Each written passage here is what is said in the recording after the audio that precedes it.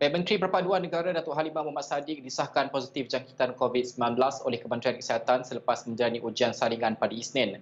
Menurut kenyataan Kementerian Perpaduan Negara, beliau akan menjalani rawatan dan tempoh kuarantin mengikut saranan dan pemantauan oleh KKM di Johor Bahru. Di mana sepanjang tempoh itu beliau akan terus memantau dan juga memastikan segala urusan Kementerian Perpaduan Negara berjalan lancar. Dan juga sementara itu beliau mengucapkan ribuan terima kasih kepada semua pihak yang mendoakan kesembuhannya.